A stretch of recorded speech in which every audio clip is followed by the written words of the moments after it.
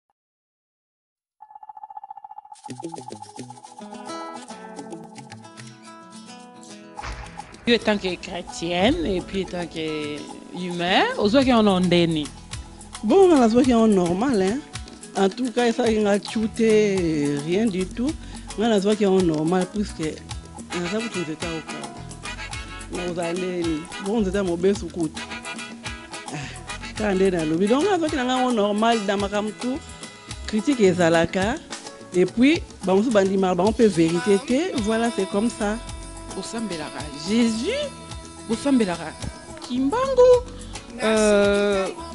elekelaka bango quand on parle de kimbangu entre temps tozotanga bible oyo eza mindele bakomi en tout cas bamonaka ondire kote wana obandi liboma donc olimbisi bon mpo na ngai naza na problème na ye te mpo na bake nalimbisi bango bazalaki mpe ebele enfin bon eh, mingi mingi nazolobela jomak pisele bamisu ngai namonaki te eh. mingi mingi nazoloba jomak naza ngai na kanda na ye te ye alobi elobi yo eza bapropos na ye bandeko balandi mbote na bino uh, bienvenue encore une fois na kati ya émission na bino bosepelaka na yango mingi na nouveau tempo uh, bolukaki mama ya biso julienne eyo apoyi une pause Tozongeli ye selon ndenge bosengaki, ndenge bokomelaki ngai. En tout cas plaisir à trop na ba commentaires nionso bosalaki, na oyo nionso tout bolobaki, ba idees bopesaki, ba questions na bino to notaki yango. Yango toye kokutana lisusu na mama na biso Julie abetela biso lisusu masolo. Lelo toko continuer suite ya masolo tobetaki mbala eleki concernant l'eglise kimbanguiste. Lelo tolobela mingi Mokili ewuta wapi to ebandeli ya mokili ewuta wapi to biso batu towuta wapi ti tokomi boye ba mindele bakomi batu mwindu bakomi en tout cas aza nzambe te mais ayebi histoire mwa muke parce que euh, Na ba enseignement oyo ye azua ba ndeko oyo bosengaki lova lova na yebisi yo euh maman ya biso ye yo osengaki ye azonga lisusu yango toye ko kutana na ye ye yo boyebi ye kombo na ye maman Julienne to presenter lisusu te en passant je dis bonjour à Djo Mack merci na video osalaki euh na ba commentaires na ba ba eclaircissement opesaki biso makambo nionso olobaki engagaki kaka yo il ya pas de souci on est libre mutu na mutu aza libre ya koloba oyo alingi mais merci vraiment na eclaircissement na yo alors maman na biso Julienne ye maman Julienne mbote lisusu. Mbote ma fifi. Maman Julienne.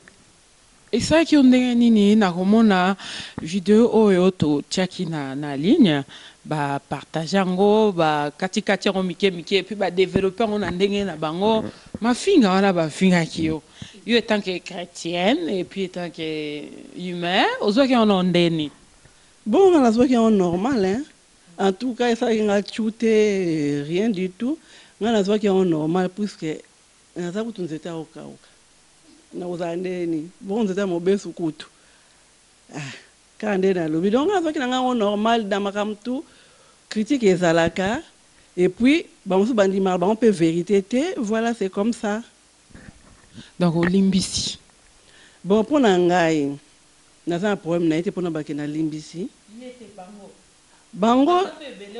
bazalaki pe ebele hein enfin bon eh mingi mingi nazo lobela djo mack puisque le ba misusu nga na monaki te hein mingi mingi nazo loba djo mack naza nga na kanda naye te ye alobi elbi yo eza ba propos naye mais ngai en tant que kimbanguiste na yebili yango bongo te eloko moko nde nalingi na bakisa ngai julienne na repondaka soki otali mama fifi ba nioso nga na reponda Ezalaka mutu moko aza non kimbanguiste attaque un kimbanguiste ou bien alobi likambo ya kimbanguiste nde na bengaka yo ou bien soki po osignalaki nga nabi bon tosala na repondre mais nanu na reponda un kimbanguiste te na contredire ye meme eza nango bongo te tobanda ko discuter naloba eza boye ezongisa ye boye nalingaka te soki nalingaka kosala yango kaka pe na Djo Mack nde nasi nasala yango mais natalaka ye aza un kimbanguiste nazalaka kutu meme koloba nakoki kokutana numero ya mwana mobali wapi tosolola na ye vraiment mais ya ko repondre ye boye devant batu ye bana mama moko bazo bana tata moko bazo suanaka tala kaka mokili ndenge etalaka alors na ndenge na nga banda kala nayebi asala ba video ebele oyo atia toujours ba trois egal un oyo ba nini Na landaka na nga yango te. Nga na landaka kaka oyo aza non kimbanguiste mais problème eza. O landaka yango mais o critikaka te. Na critikaka ye te na zonga na ya ko zua na benga ma fifi yaka to sala na repondre te aza muana kati po na nga. Ngai na takaka kaka ba oyo ya libanda mais eza na ngo pe problème te po na nga na koki na nga ko repondre ye mais pour le moment na moni na nga ngo eza na tina te. Ba preuves eza nango ebele ya kotia bon mais namoni nanga ya na tina te natiki nanga po nga ata nasalaka na yo maman fifi nasalaka yango a but lucratif te nasalaka po pe e edifier pe batu batu oyo bayebi neti lisolo ya kimbangu te Makambo ya masolo ya kimbanguiste, ya kimbanguisme bayebi yango te. Mua ndambo oyo balandaka biso bazo zua pe. Oyo ako ndima andimi, oyo ako kende koluka a verifier asala ba recherches a verifier. Mais ye asalaka yango à but lucratif. Yango alukaka ba titres moko atia batu ba kota, mua nombre de vues ezala. Po tala nga no to sololaki, emission elekaki.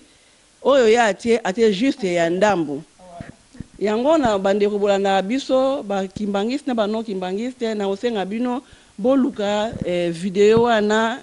mobimba na yango botala yango ti na suka ye akangamaki kaka na point ya pole nalingi kutu ko discuter na yango te kaka eloba ye moko atalaka emission na bango qui vivra verra tokoyeba nani aza na raison nani aza na tort mais bolanda video na nga Ti na suka bokoya koyeba makanisi na ngai ezalaki nini donc na suki na ngai wana. D'accord alors j'espère que bozui eclaircissement et puis tokotiela bino lien ya video wana na se ya video oyo bokotala yango pe boko comprendre voilà to signaler pe que aza pe mwasi ya mutu. Eeh okoki ko attaquer ye pe ndenge wana te. Alors tokoti na sujet na biso ya lelo maman Julienne euh pona nini tobengi emission ya lelo Afrique est le berceau de l'humanite alors meka nao ko eclaircir biso Po mingi baondima te eh koko ya sudi nayebi ke aondima na yango te limbolela penza bana nzambe oyo baza kolanda biso ba kimbanguiste et non ba kimbanguiste balanda yango parce que lisolo ezo concerne surtout biso ba africain surtout biso ba africain ezo concerne biso eh lisolo oyo alors na bokebi vraiment na pesi eh micro na nga pa mama na biso. Na simbeli ye plutot ye akoluka a eclairci biso en long et en large Afrique ndenge balobaka berceau de l'humanite eza berceau ya bebe te mais to landa ye toyeba le pourquoi alors maman Julienne expliquer biso toujours je signale que azalaka na bible na ye oyo toyebi Eeh yango wana la sainte bible so olakisa batu batala voilà la sainte bible voilà yango wana voilà munduki maman na biso eclairci biso toyeba po ezali continuite ya masolo na biso tobandaki depuis kala. Voilà bon eh l'Afrique est le berceau de l'humanite nakolimbola boye na lingala. Afrique y'a berceau donc berceau toyebi berceau ezali mbeto oyo bebe nouveau ne awuti na maternite abimi aye kolalela sikoyo l'humanite eza mokili y'a le monde donc tank Afrique eza berceau donc eza mbeto y'a mokili mobimba yango elingi koloba Ozala rouge ozalaki jaune oza noir oza blanc olala owutaki na mbeto oyo bebe donc mbeto ya ba bebe oyo ezali Afrique donc biso nde batu Afrique tobandaki mokili toboti ba race oyo nioso ebimi donc elingi koloba ke nzambe asalaka mokili na ye abandaki kosala mokili na ye na kati ya Afrique. Peut-etre Adam na Eve baza ba ndeko na biso ba noir. Oui Adam et Eve bazali ba noir ba noir ya Afrique plus precisement ba congolais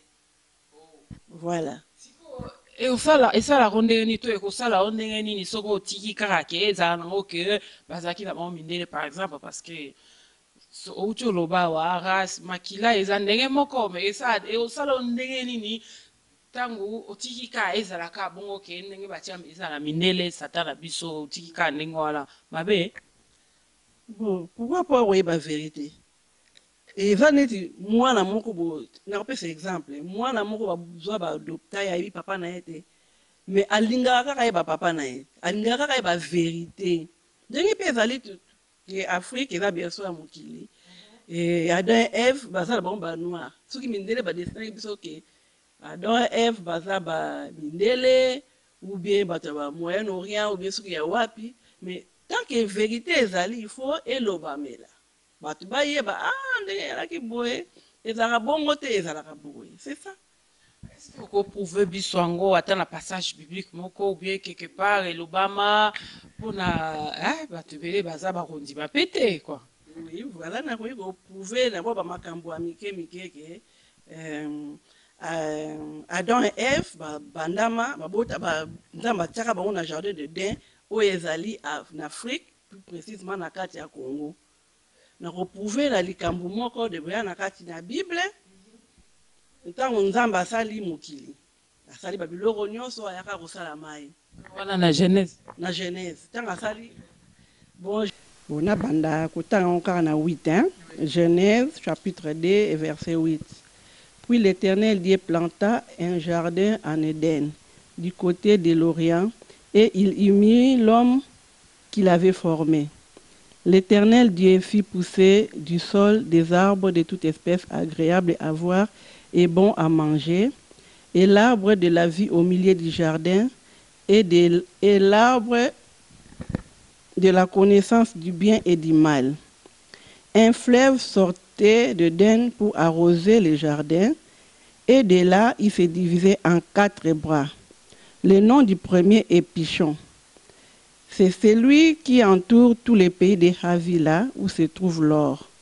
L'or de ces pays est pire. On y trouve aussi le délium et la pierre d'onyx. Aussi, le nom du second fleuve est Guion. C'est celui qui entoure tous les pays des couches. Le nom du troisième est Idékel. C'est celui qui coule à l'orient de la Syrie. le quatrième fleuve c'est l'Euphrate. Bon nakoloba boye Nzambe asali biloko nioso ti asali na kati ya jardin d'Eden ayei kosala mayi totangi tomoni awa atangeli biso quatre grands fleuves oyo ezali les quatre grands fleuves wana yango eza ba fleuves oyo eza na Afrique awa batangi yango na ba kombo mosusu. Mais ba fleuve wana nga naki kotangela bino ezali le fleuve Congo oyo source nango ebandi na Lualaba na na region ya Katanga ebimisi mwa et se diviser en ebimisi quatre grands fleuves ebimisi fleuve Nil ebimiseli biso le le Niger après ebimisa biso fleuve Zambèze.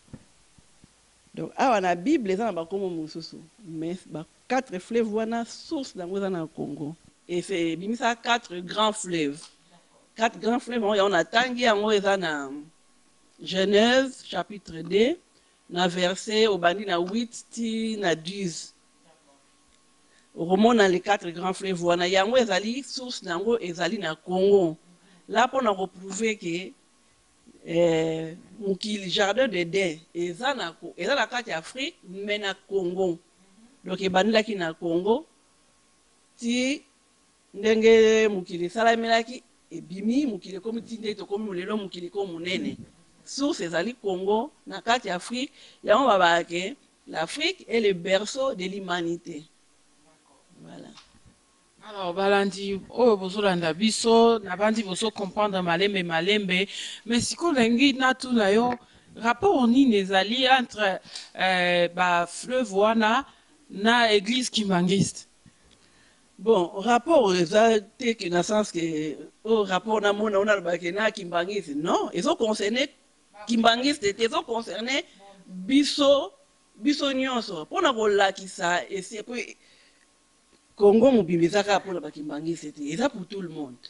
donc eza kaka pona loba na signifie bible na bible oyo eza ya biso ba kimbanguiste te mais nazo ko lakisa ke jardin de den ezali na congo na pesi mua signe d'abord moko pona loba ke neti olobi ke afrique nde ebandeli ya mokili toko loba pe susu nako bako ko bakisa su eloko mosusu ke oyo ezo ko ekoki ko appuyer lisusu ke afrique eza ebandeli ya mokili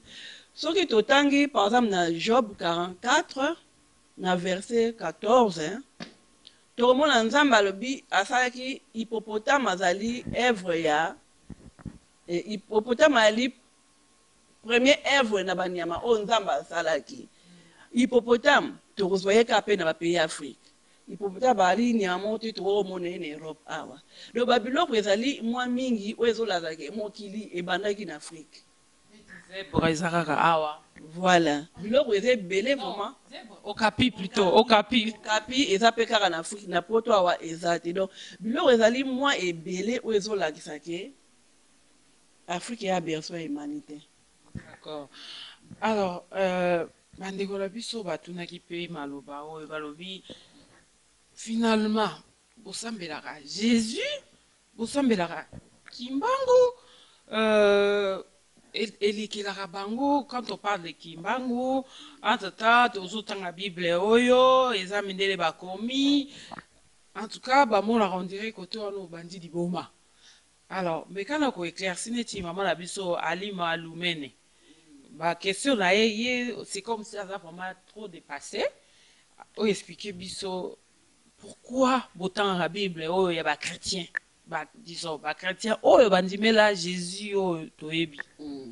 Bon totangaka bible ya ba chretien po biso pe toza ba chretien tout court te toza ba chretien kimbanguiste donc son na bina chretien kimbanguiste ezolobela biloko mbale par rapport ya bino chretien To pona bino Christ biso Christ na kimbangu donc na ki koloba soko tolobi source ya christianisme sotobi source ya christianisme toko tanga mingi catholique na Vatican hum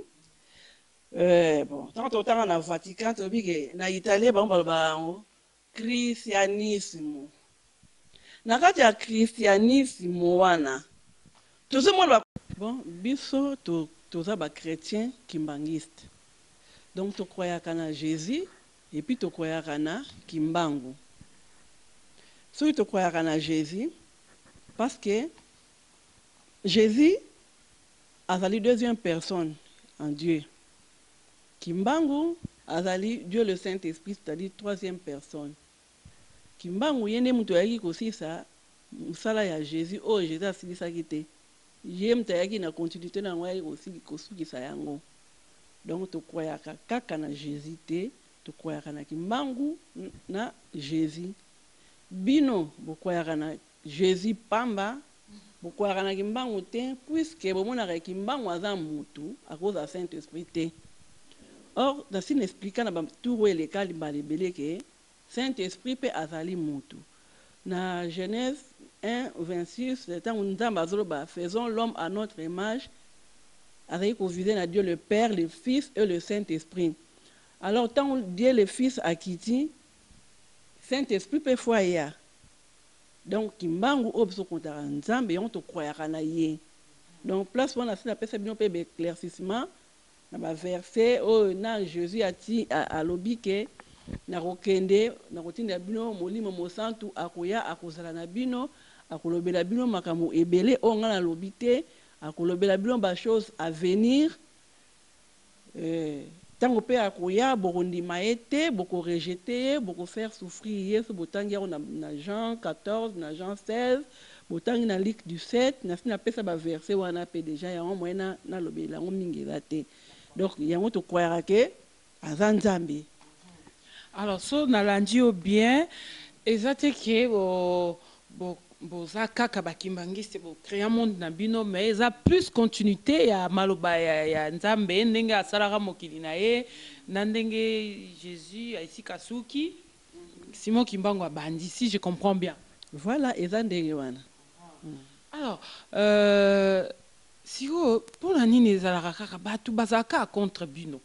Pourquoi bazalaka contre ba kimbanguiste? Ou bien bokokaka ko se defendre te? Ou bien bokokaka ko ko ko eclaircir penza monde te? Ou bien je comprends nga pe na comprenaka te limbolela nanu batu baolanda biso maman Vero lova loba ata koloba. Soki pwani batu bazalaka contre biso? Bon nga mpo na ngai na mayele. Apparemment les kimbanguistes bango ba integraka batu misusu mais eza difficile batu ba accepter doctrine na bino ou bien ba accepter nini ideologie ya papa Simon kimbangu. Voilà eza na ngo ndenge wana po eloko oyo ya malamu batu ba ndimaka ngo difficilement Oyo ezalaka ya mabe yango endimamaka. Nakoki kopesa mwa ba exemples kaka. Tokota kaka na internet, to cliquer kaka ko Koffi abetaki danseuse na ye ou to cliquer kaka eloko moko ya bongo, tokomona soki batiaka oyo dans deux jours okotala nombre de vues ebele par rapport esika moko bazolobela likambo ya Nzambe ekozala moke. Alors biso ba kimbanguiste lokola toya na verite Oyo mokili aza na ngo te sauf que biso ba kimbanguiste bato toza na verite wana mokili elingi kondima na ngo te preuve à l'appui Jesus oyo tobetelaka tolo awa na ba yuda ti lelo pe mingi bandima nanu ye te mingi ti lelo ba bengi kaka prophète ba bengaka ye nzambe kutu te mais biso awa na Afrique ba africains Ba congolais to siamisi na kango ndeke to zalaka wana c'est vrai aza ne nzambe mais to yoka kaka ko yoka par la foi to ndima mais oyo ezali penza ya pa na biso moko to koki pe meme kutu ko verifier ba ma loba yango ba makambu yango na ba oyo ba vivaka na tango wana to lingi na biso te pourquoi parce que eza likambo ya vrai ya solo Yango mokili elingi yango te ezo combattre yango voilà. Bon je pense que bolandi biso na bokebi penza, maman na biso azo eclairci biso comme d'habitude ndenge amesana alors euh sikoyo tozonga nanu kaka na berceau de l'humanite wana nga nazolinga nayeba penza bien bien bien rapport nini ezali entre papa Simon kimbangu Na mokili, na Afrique, na bato moindo. Voilà. Rapport oyo ezali entre Papa Simon Kimbangu na mokili, na Afrique, na moto moindo. Rapport wana, likambo wana ezali boye, Papa Simon Kimbangu ayaki ko liberer peuple noir partout na mokili mobimba esika bazali, Et puis ayaki pona mokili mobimba mais d'abord pour les noirs parce que totali mokili mobimba eza biso ba noirs nde toye ko souffrir. En d'autres termes on peut le dire aussi que papa Tshisekedi aza continuite ya papa Tshibo Ngimbangu? Longola kutu makambo wana pembe te, Kotumbula ba kimbanguiste te s'il te plait longola nanu kombo ya tshisekedi na nga ya makambo oyo que son ame repose en paix voila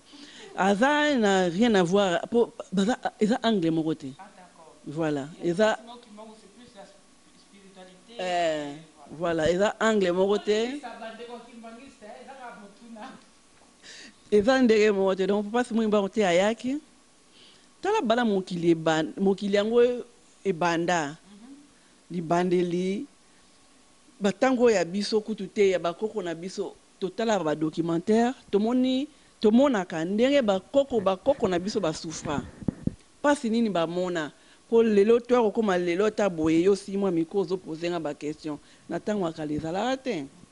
Donc ezalaka pasi tomona ba documentaire ba maman na biso ba papa na biso ba misala bako salisa bango misala makasi kotambola mutaka ba chaine na kingo ezalaki pasi yango nzambe alobaki a na moni pasi na bino na tindela bino mosungi euh na lingala na yebi te soki terme nini ba ba na tindela bino sauveur et liberateur po vraiment toza toza b'opprimer tozalaki Na koka kutu na b'esclave. Nzambe abi bo pasi ya batu muindu eleki, na tindela bango mosungi aya kosunga bango a liberer bango. Ndango omona papa Simon kimbangu ayaki. Donc na koki pe meme kopia pe passage na bible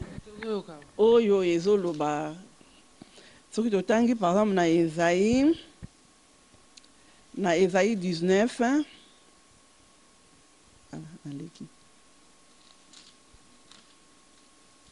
Soki totangi na Ezayi 19, na kobanda kaka na chapitre 19, verset 20, Ce serait pour l'Eternel des armées, non,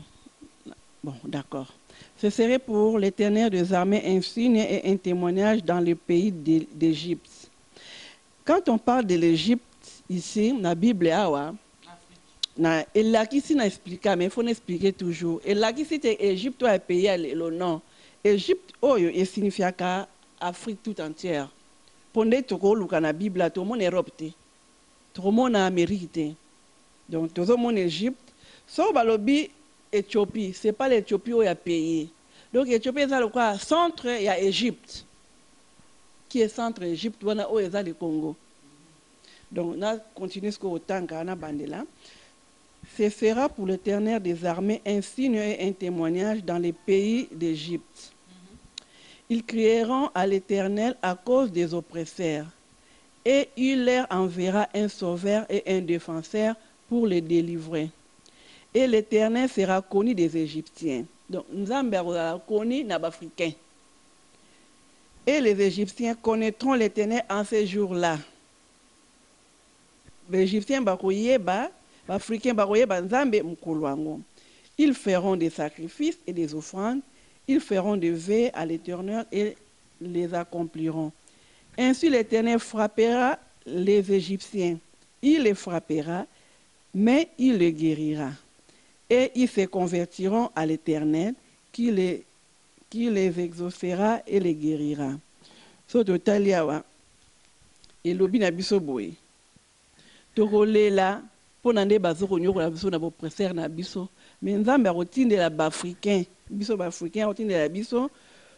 sauveur et defenseur po ya ko liberer biso yango tomonaki kimbangu ayaki n'afrique Po bakomi yango na na Egypte c'est à dire na Afrique oyo à part soki tolobi tolongola kimbangu namoni moko te oyo ayaki oyo asalaki lokola kimbangu abundaki donc a a combattaki na ba mindele po na cas na biso namoni te azali te puisque soko tozui prophetie ya papa Simon kimbangu ya le 21 ya 1921 le 10 septembre a parla aloba ke tokozua ba independance alobi ke tango tokozua ba independance na biso ba president na ba pays afrique bakosalela au profit ya mindele ya ba occidentaux bana na ye ba biso ba africain pasi telema ekoleka biso tokokende na mikili ya mindele partout par ci par là. Aloba mua ebele ti na suka aya kobakisa totangaka bible pona kokanga moyibi donc soki oloki mutu akoki kolinga atangi yango ye moko pe a etudier oyo nazo loba kaka likolo juste pona ko explique ye ke ye nde liberateur po a partir ya kimbangu le kimbangu alobi yango akufi neuf ans apres tobandi kozua ba independance na ba pays na biso ya afrique c'est vrai nayebi te mutu akoki ko contredire ngai en tout cas apesa ba arguments na ye naza na ngai pla pre po na yebi ke en tout cas aza te. Alors maman Julienne à chaque fois soki ozo tanga bible ekomi cote ya ya Ethiopie to Egypte olobaka eza Afrique ou bien Congo mais pourquoi ba komaki kaka ba moko Congo te ba komi kaka ba Egypte ba nini? Mingi mingi po na lwaba bosembo na yebi te pourquoi mais ngai na ko defendre selon nga na lobi ke Na prophetie nawuti kobakisa ke na prophetie ya past Simon kimbangu alobaki il faut kotanga bible po okanga moyibi na eloko oyo ye ayibaki c'est à dire bible oyo eza na makambo ebele oyo eza verite mais mususu mundele akosaki po na kokanga yango ye ke akosaki biso na bible ameka ko tricher po a camoufler abebisa mais Tant que verite ezalaka kaka verite ekotikalaka kaka verite. Sikoyo par exemple nako pesa neti passage moko ezo loba que elobaka na bible que mes adorateurs attends naluka yango peut etre nde natanga yango pe naloba kaka bongo nazui kotanga na Esaïe toujours hein na Esaïe 18 natanga na na verse 7. En ce temps-là, des offrandes seront apportées à l'Éternel des armées par les peuples forts et vigoureux, par les peuples redoutables depuis qu'il existe, nation puissantes et qui écrasent tout, et dont le pays est coupé par des fleuves Mpo na koloba mpo na nini na tangaka kaka eza Congo ou bien nini soki tozui kaka naza mpe na tablette awa tofungoli tokoti na internet tobeta no kaka ke quel est le pays d'Afrique qui est traverse ou bien coupe par des fleuves okomona ke eza Congo. Sikoyo na bino Congo alors tango nako zonga na na verset oyo na lobaki ke source eza na Congo pays de cours d'eau de grand lac eza Congo donc meme soki kuna ba nini ba tie kombo yango te mais yo moko loko oko beta yango oko mona awa ba komi te mais toko yeba ke lokuta na bango na makambo ebele eza awa voilà dans ce sens là. Merci pour dire que Congo na biso eza vraiment pays moko beni mais biso moko ba congolais toyebaka ndenge nini tokoki ko prendre soin nango te dommage vraiment alors maman Julienne tolingi totuna pona nini nzambe na Disons nzambe na bino oubien nzambe ya ba kimbanguiste oubien tout court papa na biso ba bengaka ye nzambe place ya nzambe wana nde yango e derangeaka ba chretiens oyo ba ndimela jesus oyo ya mindele. Voilà omoni e derangeaka mingi tozo na talaka pe de fois na internet ba makambo kaka ya ba kimbanguiste te na talaka pe ya de blanc oyo bazo loba ke nzambe aza muindu jesus aza muindu. Mais je pense ba ndeko na biso nanu ba komi na niveau wana te. Toza toujours na ste ya mindele. To lingi ko ndima eloko mundele alobi. Mukolo mundele ako banda ko publier bino yango vraiment clairement boye, nakansi mukolo yango boko ndima. Mais au lieu que bino moko bo sala ba recherches que Nzambe aza muindu, puisque tangu to lobi l'Afrique est le berceau de l'humanite, ngambo na fabrica yango te, mundele mutu alobi yango. Bongo. Bandimuna tondima na biso likambo wana phrase wana tondima yango alors c'est à yo mutu muindu ya kozua phrase wana ya pe ya ko developer yango mundele aza na ye mundele aye kosala mokili na ye na Afrique epayi ba noir bazalaka oko explique yango ndenge nini puisque ngai nakoloba ke tango asalaki mokili nzambe yango aza noir asali mokili na ye na na Afrique quand on dit Afrique on voit noir quand on dit Afrique Tokomona mundele te oyo nde tomoni sikoyo oyo nga aza sud africain ya pembe wana bayaka koya donc qui dit afrique qui dit noir sikoyo nayebi te pourquoi mutu muindu azalaka na keti keti wana na doute wana nakoloba boye hein omoni lokolo na ngai oyo ya droite ata ya gauche omoni soki natia ngo boye mama fifi nazui nanu biki nasali nanu zairnen na nasali mua ko dessiner yango Ekopesa yo forme nini ya ya ekopesa yo afrique hein meme ata likolo ya mundele ekopesa yo afrique et pourquoi ya mundele epesa europe te te te naza kaka kopesa mwa ba biloko mwa mike mike kaka ya mike mike oyo ekosala toboyi tozonga na tolongwe nanu bible tozoki kaka na mwa ba ba petite chose moko boye bazui mundele batii na libanda moyi ezongenga bazui mutu buni batie elili ya bango mibale Ekozala couleur nini? Neutre. Eh ebimaka sombre donc muindu. Qui dit flou, sombre c'est noir. Ekozala noir. Ozui liboko na nga eh. Omoni awa? Eza couleur mosusu, omoni awa pe ya couleur mosusu. Saloko na nga, kitambi na nga pe ya ndemo mais ya mundele eza nionso na couleur moko. na liboko na awa ekokana pied na ye se na likolo ekokana biso nde tobota bango bango te babotaka biso donc nzambe aza muindu asalaki mokili na ye na afrique pai batu muindu baza mundele aye abongoli pona kokosa biso biso pe tondimi na biso tolobi na wuti kotanga passage oyo olobi ke na pays ya ba cours d'eau et tout tout tout Mais pourquoi atangi bongo? Tangu alobi asalaki mokili asalaki quatre grand fleuve et tout natangi bino yango ke eza na afrique na congo je ne sais pas soki naloba na na explique ndenge nini po po po po mutu po mutu muindu andima ke nzambe aza muindu meme jesus tangu ayaka azalaka kuna ba yuda jesus azalaka naye muindu Tango alobi, kaka na Bible, Jesus alobi ke, Nakolongola bokonzi na ngai, nakotinda yango na libota mosusu, oyo ekobotela yango mbuma. Libota lizanga tina, kasi a, a, atindi yango na Congo. Tango eye na Congo, biso tozondima kaka te. Namonaka, ah, toke pèlerinage na, na, soki na, na, na Jerusalem, Toke boye Jerusalem kuna ezalaka lisusu te temple wana he ezalaka te kuna pembeni okuta mosquee eza wana biloko nionso Jesus alongolaka yango tanga bino azolongola bokonzi na ngai alongola nionso ti tanga akufaki Simon kimbangu c'est le c'est lui meme wana Jesus wana tanga bi ngai na mati nake kokita na Egypte c'est à dire nake kokita na Afrique kaka ye moko tango amati akende na Afrique Bokonzi wana alongola, nakopesa yo exemple lelo oyo, nayebi te soki otala na internet soki omona carte geographique ya rdc na Capernaum ozo mona? Pona yo mutu muindu congolais ezo lobelo nini?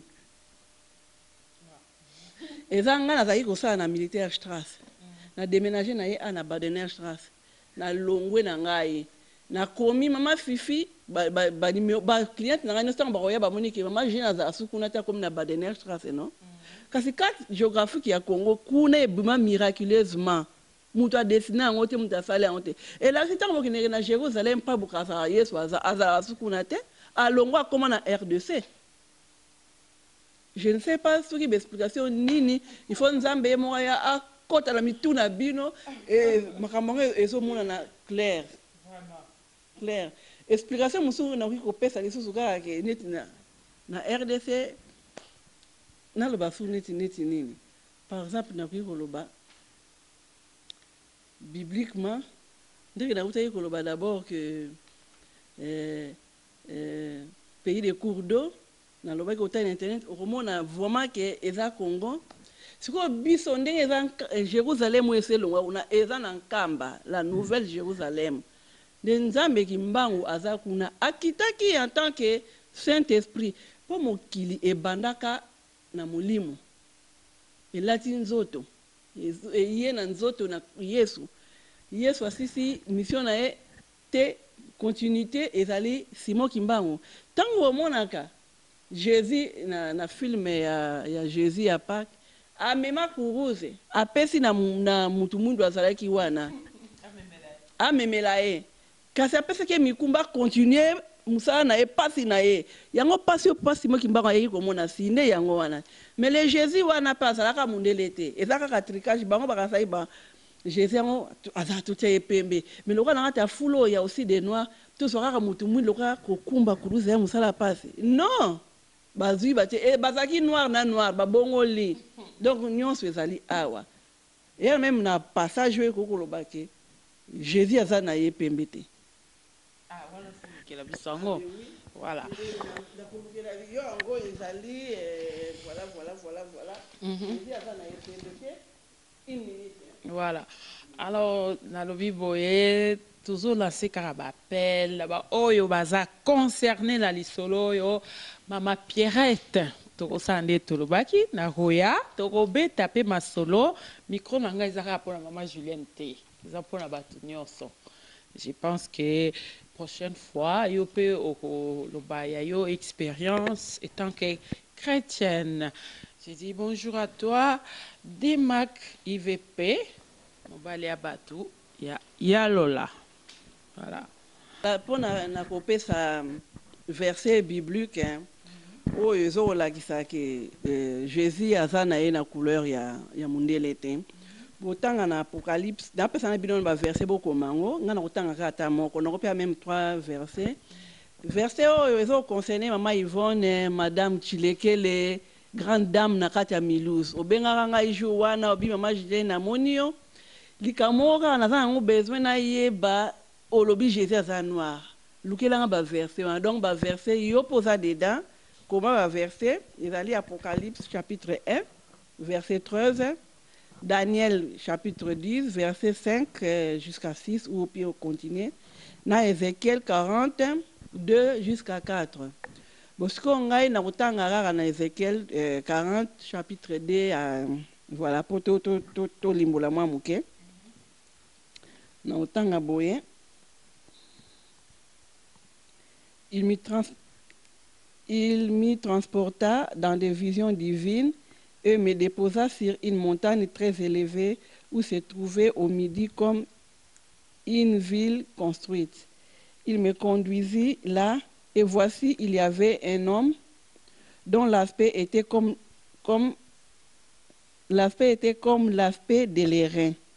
il avait dans la main un cordon, un cordeau de lin et une canne pour mesurer et se tenait à la porte. Donc ba bi avp na ye ezalaki comme de l'Airain. Airain eza lokola neti bronze, bronze azala na couleur nini? Donc bronze eza bino moko boyebi soki ekozala nini. Donc ya na ba chapitre mosusu soki otangi bako ba no. Eeh cheveux crepi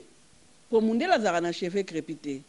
eeh cheveux crepi wana botanga yango na na na apocalypse hein na treuse hein eeh aza lokola lipa bati na four oyo eziki alors mundele aza na couleur oyo lipa bati na four eziki te bon bokoki ko continuer puis bokomona. Donc wana nde ba ba chapitre oyo na lobi que Jesus na l'heure wana azalaki mundele te azalaki naye noir. Ba masques lisolo yango. Yango wana kimbangu papa Simon kimbangu abaki il faut botangaka bible po boyeba makambu mususu bango bakomi mais tangu bango bayaki kolakisa biso kotanga bible batangela biso ba makambu oyo te totikala nango te to developaka kaka na makambu oyo bango batikelaka biso l'amour du prochain Kotia mabonza eh linga muninga na yo ah Jesus eh Moïse eh Abraham non Jesus azalaki muindu puisque batu ya tangu wana ya kala ba Moïse ba Noe comme mokili ezalaki muindu bazalaki ba muindu soki bazalaki ba pembe Nzambe alingaki kopesa etumbu te aloba que bokozala ba esclaves bako koniokola bino bakoteka bino ba chaine à cou Donc na l'heure wana ezalaki ba periode ya Moïse okotanga malediction ezali na Deuteronome 28 na Deuteronome 32 okomona epayi Nzambe azo loba bakokanga bokozala ba esclave bokozala singa na kingo patati patata sikoyo soki totali na mokili boye ba nani bazalaki ba esclave ba nani oyo ba mindele bazo niokola ti na mokolo ya lelo bien que tozua ba independance eza biso ba noir Alors nzambe tango alakelaki mabe alakelaki yango biso ba noir alakelaki yango mundele te na l'heure wana mutu ya liboso azalaki muindu donc na place wana ba ndeko na nga ba ba chretiens tout court bomeka kokende ko verifier na ba bible botanga po sikoyo eya question ya temps botanga na deuteronome euh. 28, botangi na Deteronome 32, botangi mpe na Deteronome 32, de 5 tii na 43, botangi Deteronome 29, bokomona malediction na benediction. Soki totosi, benediction ekoyela biso. Ndenge totosaki te, Nzambe mpe a punir. Mais nakoki kotanga mwa verset mokie na Esaie, ya molai te, pona bomona kaka dejà que, Biso wana nde ba lobelelaka na tangu ya ba malediction wana po to tanga na Esaïe chapitre 20 na verse 2 jusqu'à 4 to tangi boye En ce temps là l'Eternel adressa la parole à Esaïe fils d'Amoth et lui dit, va détache les sacs de terrain et ôte tes souliers de tes pieds il fit ainsi marcha ni et déchaussé et l'Éternel dit de même que mon serviteur Esaïe marche ni est déchaussé, ce qui sera dans trois ans un signe et un présage pour l'Égypte et pour l'Éthiopie. ndenge mosali na ngai atamboli ni makolo ngulu etutu ndenge kozala mpo na bino baafrikain Ekomela biso totambola mitaka ba koko na biso nions tout wana donc ezo lakisa ke na l'heure wana ezalaki batu muintu mokili nzambe asalaka ngo na batu muindu liboso mundele aye koya na libota ya Isaac abalaka Rebecca aboti Esaou mutu muindu aye kobota Jacob pembe epayi mama apesaka alambaka pe apresentaka Jacob epayi ya papa na ye po bapesa ma Mapamboli, Jakob azalaka eh, Izaak azalaki na miso ya kokufa lere wa po akufa, alingaka apesa mapamboli, mama a depecher mwana oyo ya pembe. Biso toza bato ya liboso Nzambe akela, donc Nzambe aza noir, Jesus est noir aussi et Kimbangu le Saint-Esprit susu aye, A confirmer bino que azali lisusu noir que nionso ebanda eza kaka noir. Mais pourquoi kaka biso batu moindo kaka nde faut to niokwamaka tozalaka ba esclaves a quand la liberation? Liberation na koloba eza nango dejà etali sikoyo biso to niokwamaka tozalaki ko niokwama nzambe alobi nayoki kolela na bino. Naza kotindela bino mosungi nde kimbangu aya liboso yesu ayaka pona pasi pona tango wana pe totosaka te adam et eve basali lisumu tosali ba tour de babel na tour de babel eeh tosali na sodome et gomore kuna kindumba ki magie bakisi kindoki biloko nzambe alingi te Tala le moise akendeki kozua mibeko oyo ezaka ba passage moko boka nse boyebi na bino yango mais na moni apesa yango te mais tango nazo landa monoko bozo comprendre il s'agit de quel passage na na chapitre nini nini moise akendeki kozua mibeko atiki ba ba ndeko ye ake kozua mibeko na sima totikalaka kosala nini tobebisaka tosali ba nzamba bikeko eloko oyo nzambe alingi te yango wana Yesu ayaka to continue Simon kimbangu aye pasi yango e continuaka Simon kimbangu aye ko libere biso sikoyo asi a libera naye biso c'est à nous biso to ndima ye sikoyo nde makambo nionso eko pesamela biso makambo nionso eza na maboko na biso ye si ayaki naye si asalaki makambo naye biso to ndimela ye to tia ye na esika na ye po ye alobi ye nzambe quatre coins cardinaux oyo nionso mokili oyo quatre coins eza ya ye soki bo ndimeli ye Nionso ebongi tanki tozo ndimela ye te tozo tia kaka mundele mundele eko bonga te africain eko bonga te et bo yebaka yango afrique mususu ezo niokoma na sima ya biso ba congolais nazoki boye po na liloba mama moko atunaki wana olobaki atuni bongo bino ba kimbanguiste nzambe ya ba muindo eh bo yebani kaka na congo pe na angola. Ba misusu na Angola kutu batu ya mangala kaka batu bayebi bino ba shungu bayebi bino te donc ngai na zongisa boye c'est vrai hein ye ayebi ke ba shungu bayebi biso te mais na non na ko discuter sur wana te nayebi ke il ya aussi des shungu na kati ya eglise kimbanguiste mais biso ba kimbanguiste tango tozo loba po bino boza ba non kimbanguiste bozua yango na kati ya Congo et puis bo Epanzana po liloba pe ya Yesu po biso tozua yango lelo na ba Congo oyo nde tokomi tozalaka pe te ebandelaka kaka kuna na kuna na ba yuda ezo kende eza kokende eza nde bongo ye kopanzana ya likambo yango yo congolais soki ondimi Afrique mobimba azui eke mokili mobimba mais yo congolais ozo bloque likambo yango olingi kutu kolobelela yango te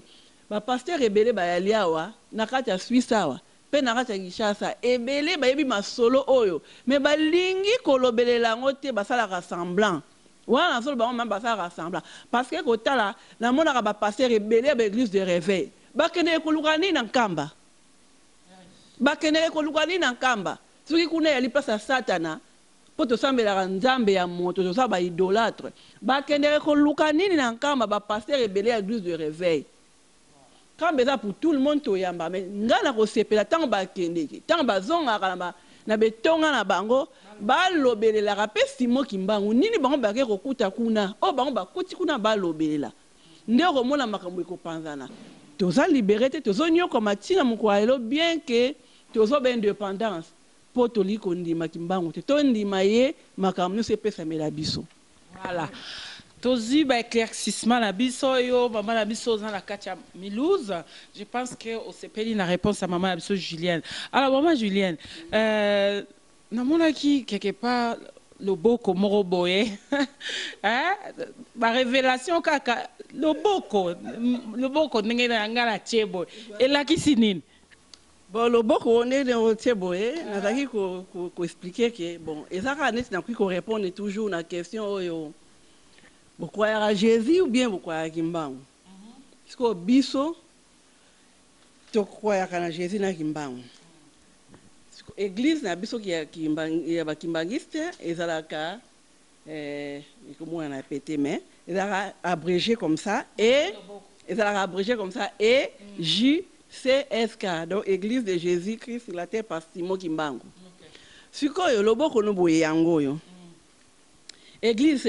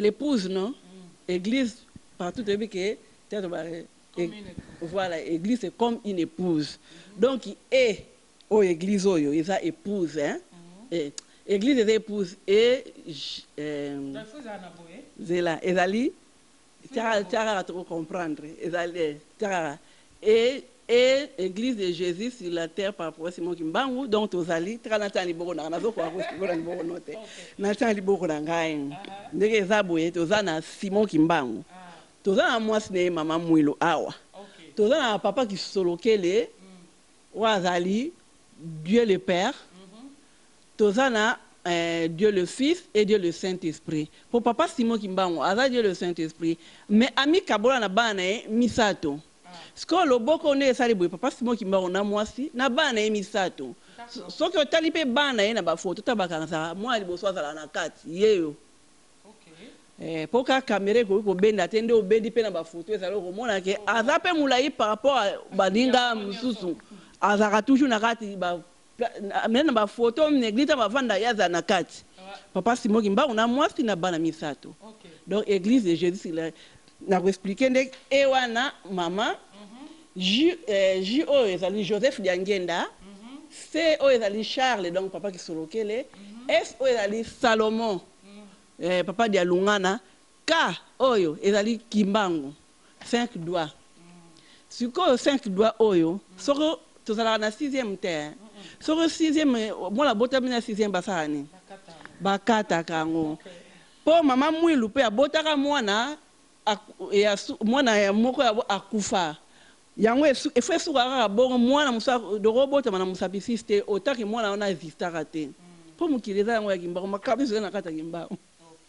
donc explication ya misapi na ngai opesi yango oyo donc omoni na kati pe eglise de Jesus sur la terre donc par son envoye donc to croire na Jesus yango kombo eglise epesami pe voila. Sikoyo idologie oyo to explication oyo ou bien revelation oyo eza kaka pona bato ya Trois to na batu ya 26 pe natuni kaka bo loba te natuni kaka soki eza eza meme ideologie. Toza meme ideologie parce que toza denominateur commun toza ba kimbanguiste biso na bango toza na je ne sais pas naza kuna te mais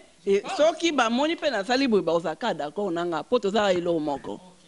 Maman Pierrette en tout cas toza na bosenga na yo opesa biso eclaircissement cote wana voilà. Ndako ye soki o continuer toujours na loboko une main à cinq doigts ndenge omonaki na salaki wana naki koloba boye tango nga nazo loba ke nzambe kimbangu aali nzambe molimo mosantu puisque na bible eza na deux corinthiens Ka soki na bosani te nako pesa bino ata passage peut etre après po ba lobi ke eza pe na nzambe moko oyo ayaka ko kundola oyo ebombama abimisi na mpuasa kombo ya kimbangu deja bo elakisi bongo elakisi mokundoli ya mabombami mabombami oyo batu ebele bazo koka ko bimisa na bible te. Bazo tanga mais bazo comprendre sens te biso papa Simon kimbangu akundolaka aza abimiselaka biso po bolandaka ba nzembo na biso toyembaka te mosusu ezalaka na ba nzembo toyembaka eza dejà ba prophetie mobimba eza pe ba explication ya ba makambo ebele eh mais comme bolandaka yango te bon c'est pas grave mais nakoloba que kimbangu nde mutu asala nde mokili oyo sikoyo bible soki totali na bible Tomona place moko nzambe jesus apesaki deux talents mutu moko deux talents mosusu cinq talents na ko developper yango mpenza ya trop te mpo yango te toyeli liboko eza liboko moko na na cinq doigts mais au juste mutu en realite azala na deux mains na cinq doigts na chaque main to na deux pieds na cinq doit ba bengaka ba ni ortel na na lokolo moko moko sikoyo toloba mutu mutu muindu pe azalaka na ecriture te po omoni kimbanguiste kimbanguisme ezali kaka religion te mais c'est toute une civilisation po kozala na civi toza na religion na biso toza peuple moko boye na façon na biso tobinaka te To mela masanga te, toa na evandeli na biso, toa na façon na biso, toa na ba coutumes na biso, bolingo, mibeko, misala, donc tosala ba makambo ya biso. Donc eza kaka kozua ngo kaka religion te, au fait soki totali yango eza ma civilisation. Toza na evandeli, toza na makambo ebele, toza pe po ozala pe civilisation faut ozala na ecriture. Toza pe na ecriture na biso oyo nanu ekomi vraiment vraiment koni te, Nasi nalobelaka yango mbala mosusu mwa moke, mandombe, ecriture mandombe. Donc ezalaka cinq na deux. To nazongi na, na cinq, nalobi ya maboko mibale, misapi nini? Jesus alobaki, akabolaka mapa na mbisi. Mapa mibale, mbisi mitano. Tant tokozonga toza na cinq sens toza na cinq sens maboko toza nango mibale misapi cinq donc nakanisi nayebi te soki eglise nini oyo ekoki ko expliquer biso ba makambo oyo nionst oyo ecriture pe ebima wana po tozala na ecriture na biso wana yango tokosalela ba makambo ebele oyo ezali ke po to developper plus tard po peuple po a developper tomona ba chinois bakomi ko developper baza pe na ecriture na bango Mindele epai na ba occidentaux a ecriture na bango biso tozo salela kaka bango toza kaka sous bango donc boya ko s'integrer epai na biso po boyekola ebele oyo kimbangu aza kopesa bondima ye po mokili ekende liboso pe africain amata akende liboso nakobakisa lisusu toujours kaka ndenge otunaki ngai pourquoi kaka congo Na tango ya Bayuda kuna na Jerusalem na bango, Jerusalem wana ezalaki pe entoure na na mwa ba ba village village boye neuf. Sikoyo na loba boye neuf ezalaka chiffre ya Nzambe? Na yebi te soki bo yebi. Neuf azalaka chiffre ya Nzambe? Biso toza ba Nzambe biso batu po Nzambe alobi tosala moto na lolenge na ye. Toza ba Nzambe. Soki okei na nkamba na biso. Te naba ya biso par rapport ya bato oyo nazo repondre oyo bamoni ke ba chretiens tout court non il ya aussi des chretiens tout court oyo bandima na bango kimbangu oyo babudaka ye te baza na bango baza na bango ba kimbanguiste te mais ba bango balobaka yango mabe te baza na bango na eglise yango te mais bandimaka ye ya bazalaka na bango mais na ba oyo nga nazolobela na ba oyo bali ke Oyo neti otangi que maman oza idolatre kosala boye te donc nazo repondre ba genre ya batu wana voila ea pe mabe te nde balobi po faut baloba po nga pe Tokomi vraiment na suka ya masolo na biso malgre bana nzambe balingaka te Sila eloko nini okoki ko repondre ou bien oyebisa na ba ndeko oyo oyo neti na pozaki yo te comme question? Bon na yebi te mais bon na ba oyo pose ngai te bon nako zala kaka voilà na yebi oko yanoka bon na ba ndeko bo landaka kaka muke muke ba verse oyo nazo pesa soki eza sika pona bino ou bien peut etre bino bo zwilaka ngo na sens mususu bo tangaka yango soki bo zwilaka ngo na sens mususu par rapport na ndenge ngai na explique soki na pie mwa verse bo sengi molimo santo A ye ako explique ako ako aider bino pona ko bo discerner yango ma très bien bo tanga kaka bitangela te ndege mundele ayaki atangeli biso bino pe bo tikali nao kala na mutu bongo te soki pe bo yebaki yango te donc bo meka ko tanga yango po bo yeba ndenge kani ba version na pesaki ya que